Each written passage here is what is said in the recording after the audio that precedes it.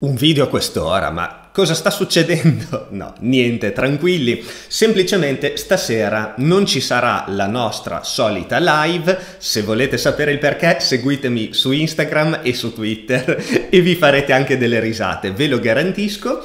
Però non vi voglio lasciare senza il nostro aggiornamento del fine settimana, per due motivi. Il primo che ci sono un paio di notizie di cui vale la pena parlare e discutere. Il secondo motivo, non so se avete visto la candela di oggi, insomma c'è un po' di turbolenza nell'aria e è un punto fondamentale quello dove ci troviamo, perché in base a quelli che saranno i prossimi movimenti immediati, proprio dei prossimi giorni, decideremo se vogliamo ritornare bullish facendo un bel colpo, insomma, sostenuto da una domanda galoppante, oppure se la domanda si è già spenta ci spegniamo e ritorniamo di nuovo nel solito punto di moria dove zero volatilità, zero volumi e non ci si muove e le probabilità di scendere sono maggiori. In particolare ho anche notato due possibili eh, cose interessanti. Una è un punto di ingresso nel caso in cui ritracciamo ancora un po' su un supporto che abbiamo per ora riconquistato, quindi interessante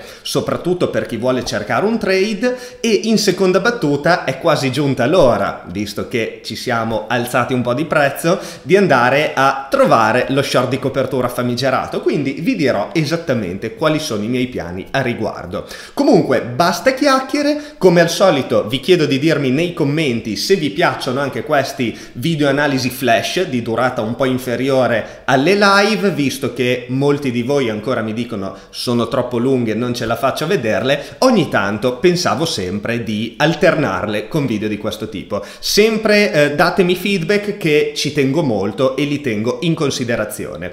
Ora seguitemi e andiamo a vedere notizie e grafici. Buonasera amici cripto investitori e ben ritrovati a tutti quanti. Sto tenendo sotto strettissima osservazione il grafico di Bitcoin perché oggi eh, sarebbe la prima candela rossa che spezza una serie storica di ben nove candele verdi. Nove candele verdi, l'ultima volta che ci sono state a fila è stato in ottobre 2015, quando Bitcoin si è svegliato da due anni di bear market. Pensate che 10 candele verdi a fila, stando a quanto ho letto qui, ho fatto un po' di controlli a campione, non ho guardato tutto lo storico, ma mi sembra vero, non ci sono mai state, pensate, pazzesco, e quindi insomma potremmo fare veramente un record eh, mondiale. Al di là di questo si sono aperte un sacco di speculazioni che Bitcoin potrebbe essere quindi allo stesso punto nel quale si trovava nel 2015, il che eh, chiaramente porrebbe questo ritracciamento come terminato e come una fase di pre-bull market, quindi sarebbe una sorta di eh, motori che si scaldano per Bitcoin, però ovviamente bisogna sempre prendere tutto questo con le pinze perché prendere un dato come il numero di candele verdi a fila e ricamarci sopra così tanto, secondo me è sempre esagerato. La cosa che conviene fare è guardare giorno per giorno i grafici, il mercato, ciò che succede e contestualizzarlo con quello che è il presente. Ne parliamo tra 5 minuti perché adesso vi vorrei mostrare tre notizie che ho selezionato per questa versione stringata breve della eh, live, non live in realtà. La prima riguarda PayPal, vado per importanza perché PayPal, come sapete, è stato uno, una di quelle applicazioni fintech, una di quelle aziende che eh, sono state tra le prime ad annoverare la possibilità di comprare e vendere Bitcoin direttamente dalla loro app e poterlo utilizzare per pagare i commercianti sempre direttamente dalla loro app.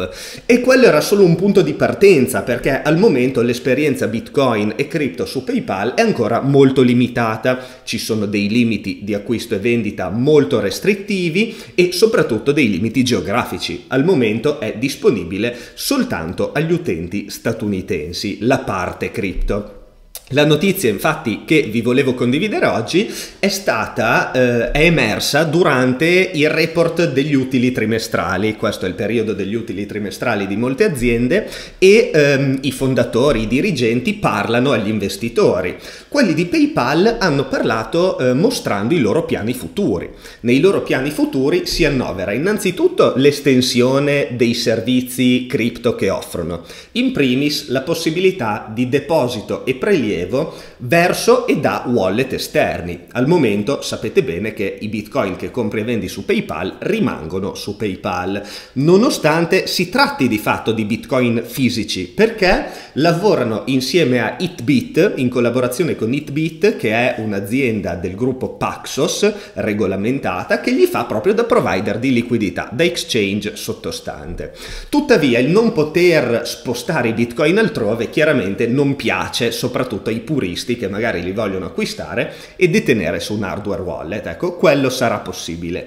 Un'altra cosa che sarà possibile sarà metterli a rendita e anche questo eh, avverrà secondo rumors tramite piattaforme di DeFi, altri rumors parlano di una partnership con Celsius Network, non lo so, io ve li butto lì come rumors perché ormai finché una notizia non viene ufficializzata dalle fonti reali, quindi dal, dall'azienda direttamente coinvolta, io aspetto a dire, a darla per buona, eh, sta di fatto che sicuramente hanno intenzione di offrire possibilità di rendita direttamente da PayPal. Sarà interessante, secondo me sarà anche un driver di domanda notevole, visto comunque quello che è il panorama di investimento attuale e le rendite molto basse offerte dagli strumenti finanziari tradizionali.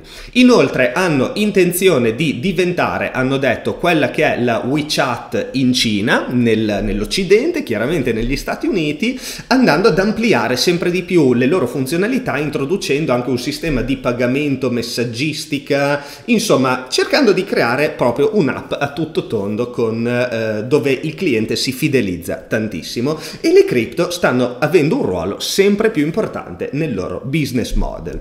Seconda notizia, Synthetix arriva su Layer 2, in realtà c'era già arrivato in eh, cioè la parte di creazione dei synth, alcuni synth, gli asset sintetici, adesso è arrivata anche una versione di prova, sempre, del loro exchange che si chiama Quenta. Questa versione di prova è ridotta, limitata ad alcuni di questi synth, vedete c'è SUSD, SBTC, S-ETH e S-Link, però la cosa interessante è che appunto è un inizio di eh, traslazione del protocollo Synthetix, che è uno dei più importanti per la DeFi del mondo Ethereum, in quanto gli, gli asset eh, sintetici sono, come abbiamo conosciuto anche con Mirror, una parte veramente importante del mondo DeFi il, lo sbarco su Layer 2, su Optimism in particolare, li rende fruibili da chiunque proprio perché le fee si abbassano di più di 50 volte. Quindi niente, sono curioso di vedere anche quelle che saranno le espansioni su Layer 2 Optimism che sembra quello un po' più di moda al momento dopo Polygon, rimanendo chiaramente nel mondo Ethereum.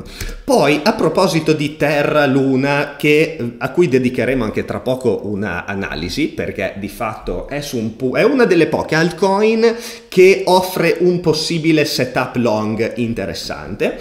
Allora, in particolare, guardate cosa questo è il trend della supply. Ho preso questi dati da Terra Analytics, che è fornito da Smart Stake, che è un validatore, insomma, e fa vedere, è interessante perché fa vedere la supply in tutte le sue forme. Quindi in arancione circulating supply in milioni, quindi la, la supply circolante di fatto, in azzurro quella eh, in stake, in verdino quella liquida, quindi prendi il circolante, tiri via quella in stake in sostanza e ehm, in fondo quello in grigio sono quelli bruciati recentemente. Come ben sapete, se vengono creati nuovi UST o altre stablecoin del mondo Terra, vengono bruciati dei Luna riducendo la supply. Questa è un po' la sua forza. Viceversa, ve lo ricordo perché è corretto farlo, se, vengono, se non c'è più domanda per UST e vengono distrutte delle UST, si, vengono a creare delle nuove, si viene a creare della nuova supply di Luna.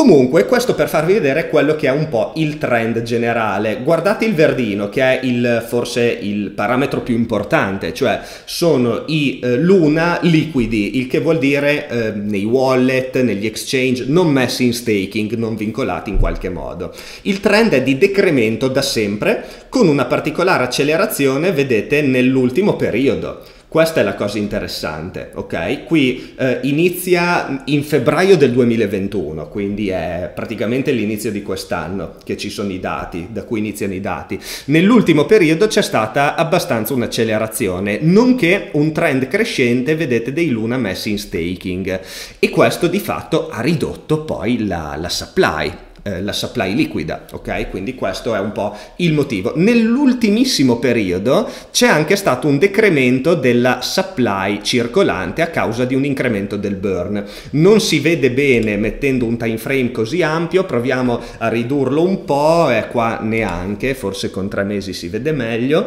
Comunque sappiate che questo trend, eccolo un po' sì, questo trend è dato soltanto dall'esistenza al momento di tre piattaforme, cioè Pensate tre protocolli su Luna, su Terra, sulla blockchain Terra. Pensate cosa potrà succedere da un punto di vista della domanda appunto di UST e quindi della supply di Luna una volta che ci saranno tutti quei protocolli in, uh, lanciati, quelli che vi avevo anche condiviso proprio a scopo di informativo. Guardate quanti ce ne sono in fase di lancio e caspita, sicuramente non avranno tutti successo, magari 5 su 6 di questi sono delle cavolate assurde, non lo so. Molti no, eh, perché sono interessanti, però ne vedo alcuni che sono andato a approfondire anche un po', non tutti ancora, però sono, insomma, si potrebbe anche farne a meno, però la cosa interessante è che eh, insomma sono, aumenteranno sicuramente la domanda di UST e di conseguenza la, diminuiranno la supply di Luna. Bene, notizia nuovissima,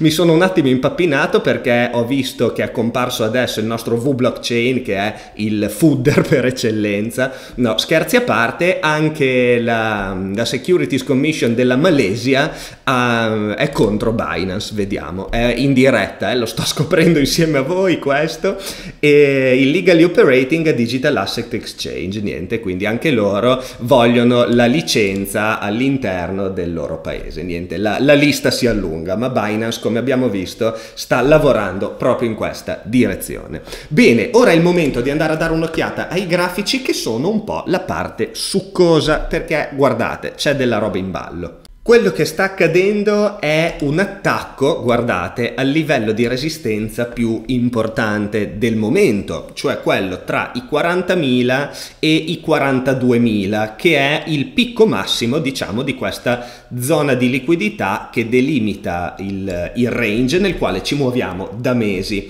È un range che ha acquisito molta rilevanza proprio per il fatto che ci muoviamo dentro adesso da mesi e quindi più dura un range, come vi ho detto tante volte e più eh, diventa un po' quello che è il punto di riferimento del movimento di questo periodo. Infatti potete vedere la quantità di volumi che si sono accumulati qui dentro. Cosa vuol dire questo? Vuol dire che se confermiamo poi un'eventuale uscita, questo diventa una barriera di prezzo enorme anche per il futuro, una sorta di trampolino di partenza, area di accumulazione volgarmente viene chiamata, proprio perché si sono mossi tanti volumi, in tanti hanno scambiato e il fatto che poi è partito a rialzo significa che l'obiettivo di chi ha scambiato qui dentro dei grossi capitali che si sono mossi per scambiare qui dentro era proprio accumulare prima di far ripartire il prezzo a rialzo. Questo ovviamente vale anche al contrario, eh, perché se per disgrazia dovessimo andare a perdere questo livello,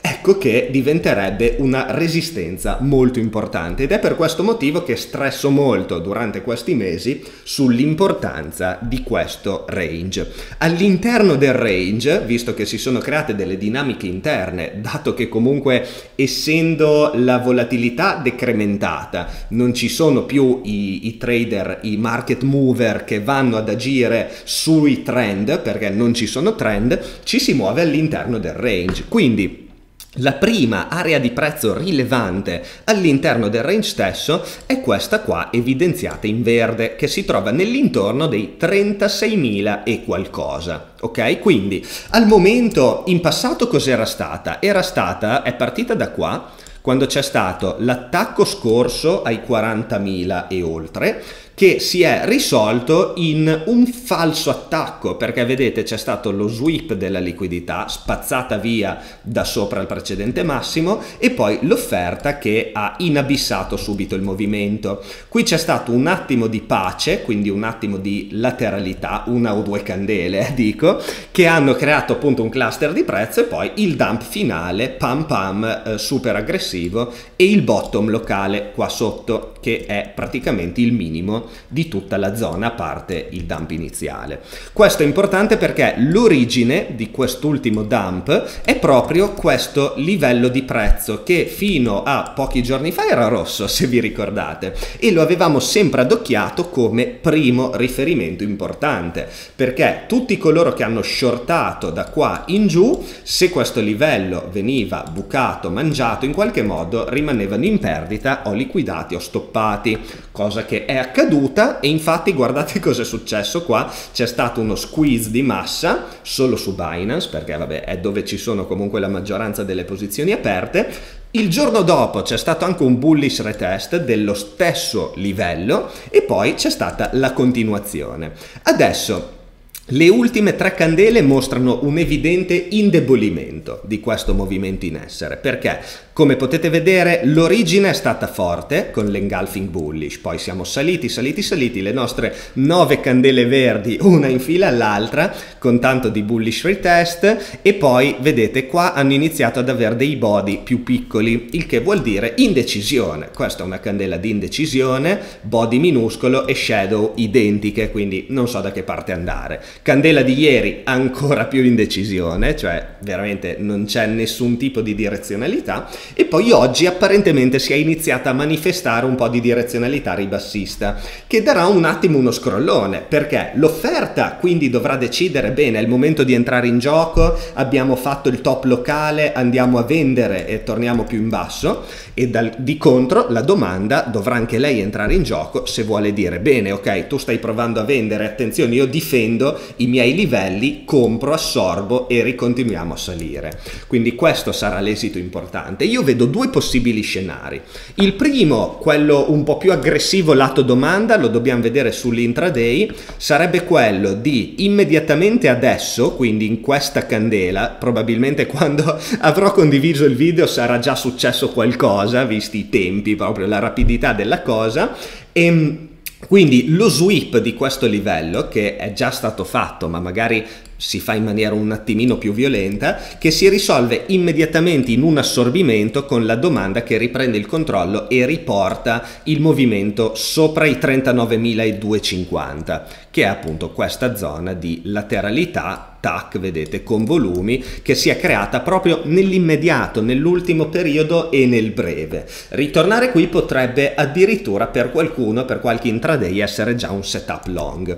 Comunque questa è l'opzione più di breve ripeto. Andando invece un po' più su, eh, su uno zoom ampio, diciamo, dobbiamo andare a tenere d'occhio di nuovo il livello 36.000 e dintorni. Andiamo sul daily che si vede meglio. Allora, se il movimento diventerà un attimino più rilassato, magari prenderà qualche giorno, adesso oggi magari chiudiamo qui, domani scendiamo ancora un po', poi risaliamo, poi riscendiamo, insomma, un movimento non immediato e direzionale e fulmineo come quello descritto prima, un retest di questo livello potrebbe essere un, eh, un setup da tenere sotto controllo per un eventuale ingresso, ok? Tac ingresso qua, lo stop loss lo si può andare a mettere ad esempio sotto ai 34.006 che è questo doppio eh, minimo precedente, nonché vi ricordo livello settimanale importante TAC, questo è il livello attualmente più importante in assoluto che adesso dobbiamo vedere dove chiudiamo il settimanale e ci aggiorneremo lunedì a riguardo, ma se eh, perdiamo questo livello, vabbè, ovviamente purtroppo è la situazione volge di nuovo estremamente al bearish. Quindi questo è un setup molto vantaggioso secondo me perché ha un rischio rendimento Bello, ok? Molto favorevole, molto molto favorevole.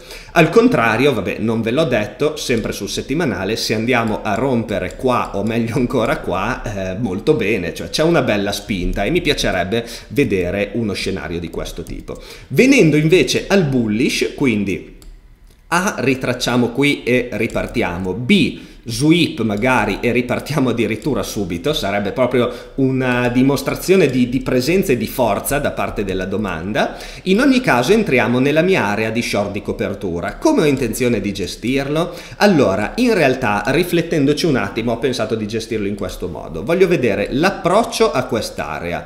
Quindi l'area tra i 42.000 per capirci e i 46-47.000 qua sopra.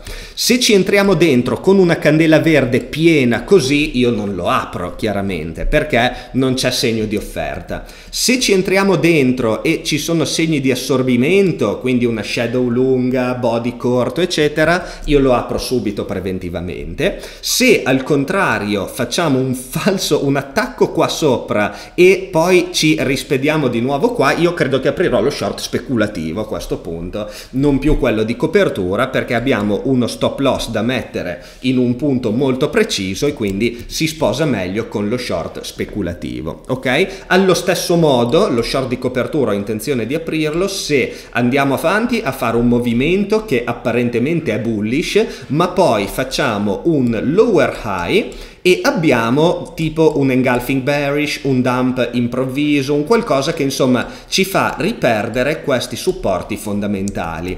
Io eh, come sempre rimango dell'idea che più ne recuperiamo di questi e più la situazione volge al bullish, in particolare se recuperiamo questo eh, do, da dove è originato il dump, insomma molti short ce li lasciamo alle spalle, però se poi facciamo un engulfing bearish e andiamo a riperderli, bam, con violenza in poco tempo soprattutto, allora lì è un altro setup da short di copertura. Questo è un po' il quadro generale della situazione. Per quanto riguarda le altcoin, oggi hanno avuto un attimo di respiro, ma la situazione non cambia. Come vedete, il trend della dominance è rialzista e quindi per me le altcoin sono eh, ancora da, da non considerare, personalissima opinione. L'unica eccezione che faccio è Luna, che al momento invece è in una situazione molto bullish, in particolare guardate qua c'è un possibile entry sui 26.000 satoshi in un'area che va in realtà fino ai 23.008 qua dentro. Se dovessimo rientrare da queste parti c'è un long con stop loss magari qua sotto, vedete sotto questo puntino qua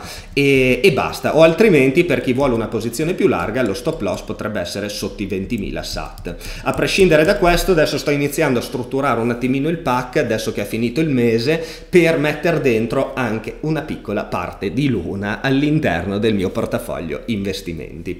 Amici, questo è quanto. Se avete dubbi, domande, qualsiasi vostra condivisione, io ovviamente vi chiedo di farla nei commenti. Vi chiedo se secondo voi sarà un nuovo 2015 per Bitcoin, quindi se il bull market è appena iniziato viste le nove candele bullish, oppure se in realtà non è cambiato assolutamente nulla. Insomma, ditemi la vostra, noi ci vediamo lunedì in live, mi raccomando seguitemi su Instagram e Twitter per oggi e per domani.